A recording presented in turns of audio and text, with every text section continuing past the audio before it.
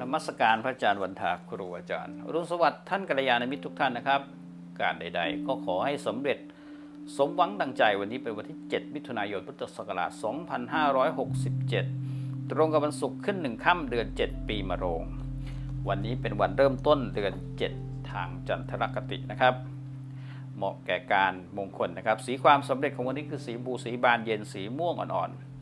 เสียบโชคของวันนี้คือสีขาวเทาสีเมฆหมอกสีตะกั่วสีบรอนเงิน ทิศความสำเร็จของวันนี้คือทิศอาคเนย์หรือทิศตะวันออกเฉียงใต้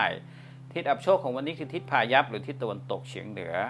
เครื่องประดับความสำเร็จของวันนี้คือโกเมนทับทิมสีชมพูพลอยบูหิน สีชมพูเด็กที่เกิดวันนี้ทั้งหญิงและชายไม่ควรมีอักษรที่เป็นการลกษณีในชื่อคือยอยักษ์รอเรือรอลิงและโอแหวน เด็กชายที่เกิดวันนี้ควรใช้อักษรที่เป็นมงคลสูงสุดตัวใดตัวหนึ่งนำคือกอไก่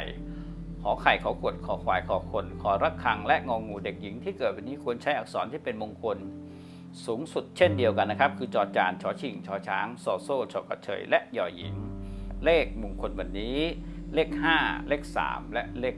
7 หมายเซตวันนี้ ปราดสอนไว้ว่า อย่ารอคอยในสิ่งที่เป็นไปไม่ได้ ตัดใจเดินออกมา มองหาสิ่งใหม่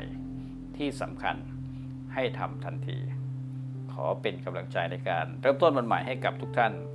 เสียอะไรก็เสียไปแต่อย่าเสียกำลังใจ มีปัญหาชีวิตคิดอะไรไม่ออก บอกอาจารย์ไก่ขอบคุณและสวัสดีครับ